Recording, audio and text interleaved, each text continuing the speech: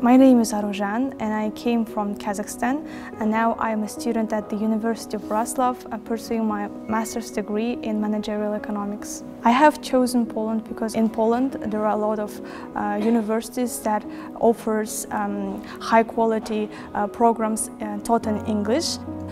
It was my dream to study abroad and I found a lot of programs and the, one of my favorite one was Banach Scholarship Program and it was easy to apply for this uh, program but uh, when I won this scholarship at first I didn't believe.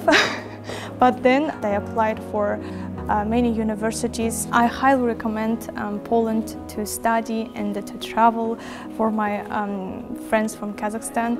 I think that it would be the best um, decision uh, to, to uh, have this scholarship and come to Poland.